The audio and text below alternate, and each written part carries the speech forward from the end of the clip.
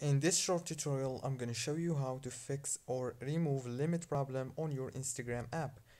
This uh, tutorial is very easy, so all what you have to do is keep watching until the end. So first step you want to do is open the settings on your phone and then go to the wireless and networks, enable the airplane mode and then go back and then go to the apps manager go to the apps right here on this page you will find all the apps that you have on your phone so just scroll until you find Instagram and click on it.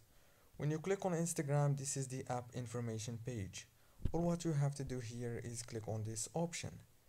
After you click on this option go down and click on the power usage details.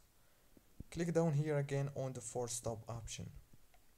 And now go back to the settings on your phone and then disable the airplane mode that's it. Don't forget to like and subscribe. Thank you for watching